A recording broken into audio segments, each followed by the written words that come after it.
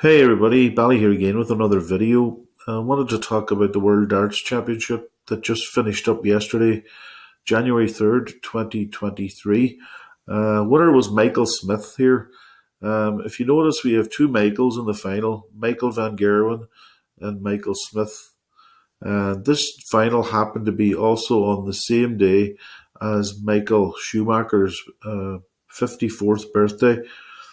Michael Schumacher was a, a, Formula One driver. He was world champion in Formula One for uh, seven times. He holds the record with Lewis Hamilton.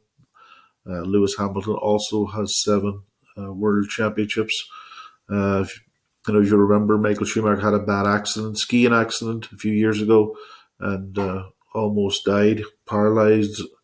Um, I'm not sure if he's actually able to walk again, but he was in, in bad shape for a long, long time. Um, but anyway, Michael Schumacher's birthday was yesterday, the day of the final. Now, the very first guy to win a match in this year's World Championship in darts was this guy here, uh, Mickey Mansell. His name's Michael Mansell, but they call him Mickey, his nickname. Uh, so Michael Mansell here, um, just show you down here. It says he had the Mansell had the honor of playing in the first match of the Arrows Marathon which runs until January 3rd. And he won that match, so he was the first winner. And uh, right here, another tribute to Formula One because Nigel Mansell, same last name as Michael Mansell, uh, he won the Formula One World Championship back in 1992. And then uh, Mansell, Nigel Mansell retired in 1994. And that was the year that uh, Michael Schumacher won his first World Formula One championship. Um, so yeah, looks a little tribute there to Formula One with Michael Schumacher's birthday and plus Mickey Mansell winning the first match, and of course Nigel Mansell being another Formula One driver. Uh, we're going to go here to the past champions here. Um, 2021 was Gerwyn Price. 2022 was Peter Wright.